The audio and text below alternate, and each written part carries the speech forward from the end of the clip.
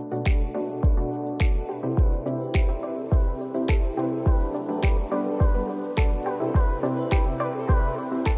I'm Jessica from UCSD Recreation, and you're watching Get Up Tritons, the video mail that keeps you moving and keeps you active. Today's exercise is a curtsy lunge with a bicep curl.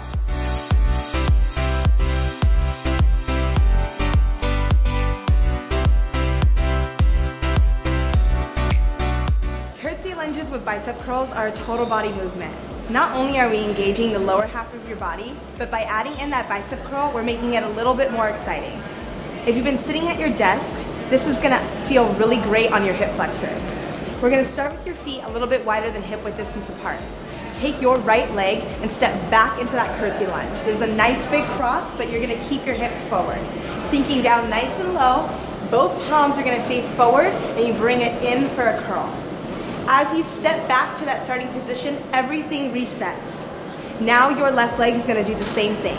Stepping back into your curtsy lunge, as you drop down low, bringing in that curl. Reset at the top, and then start over. Make sure that your hips continue to face forward so that everything's in alignment. Make sure that your joints feel good in this position and that nothing hurts. So take your time and come down nice and slow. When you're working in the lunge position, the slower you go, the more your glutes and upper body stay active.